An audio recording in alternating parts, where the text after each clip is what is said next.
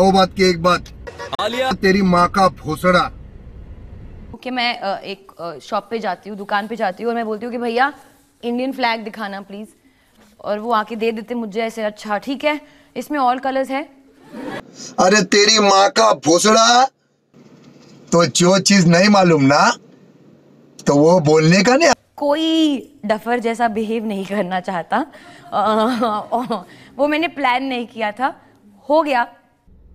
तुम्हारे से हम लोग अनपढ़ अच्छे बाहर से भोली पर अंदर से लौड़े वाली। um, ऐसे कह सकते हैं। पर मैं भी काफ़ी इंटेलिजेंट हूँ। लौड़ा लो। मुँह में चार बार।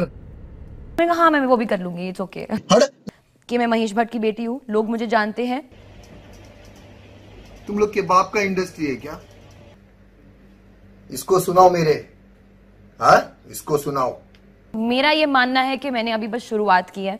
गप्पा गप गप्पा गप गप्पा गप। um, गाड़ में भेन चो तलवार डाल दिया मुँह से निकल दिए। मेरा चेहरा लाल हो गया है। सी वीडियो देखना नहीं ये भड़वे लोग को ले ऐसा सामने रखो और माँ चोदो इन लोग की इनकी माँ की चुद इनकी। मुझे अच्छा लगा।